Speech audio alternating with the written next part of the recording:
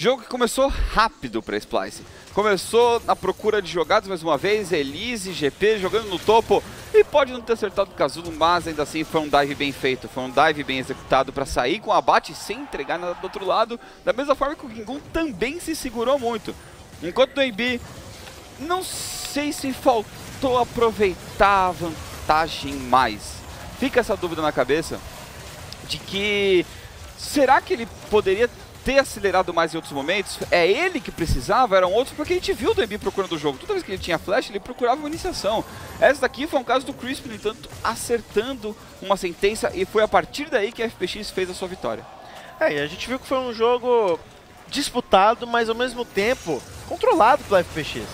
Menos daquele lance é. em, volta, em volta do Barão que ali dá pra ter virado. Ali virou mais ou menos, né? Deu uma zerada no Obi jogo. Obi numa ótima partida um excelente partida para um jogo em que ele estava no counter matchup, então estava com vantagem o adversário, estava vantagem de rota também, e ainda assim conseguiu fazer rodar, conseguiu executar e levar vantagem.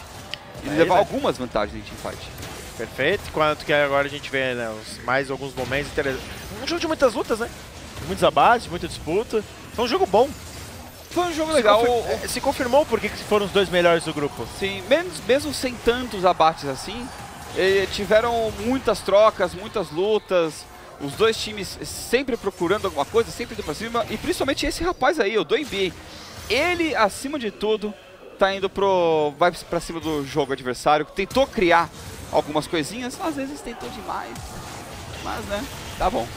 Ah, lógico, é acertos e erros, né? Mas é aquela história, é melhor acertar mais do que errar. E ele acertou mais do que errou, com certeza. Ele e o Tian em criação de mapa, em. É, tirando aquela hora que o Tian acaba sendo eliminado. É, ali foi vacilo máximo. Aquele, aquele pick-off perto do Barão foi muito, muito estranho, segurou o jogo demais.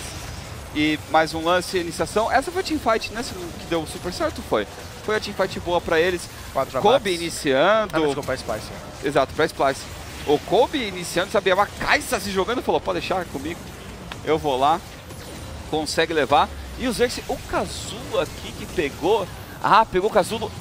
Pegou o Casulo na hora que ia dar a rolagem, ela rolou com o Casulo em cima. Nossa. E caiu. Porque se a Vayne não toma aquele CC, ela sai viva e limpa as duas. A Elise e a Kais. E aí poderia ter sido o jogo ali, o jogo ali Sim. a favor da Spice, né?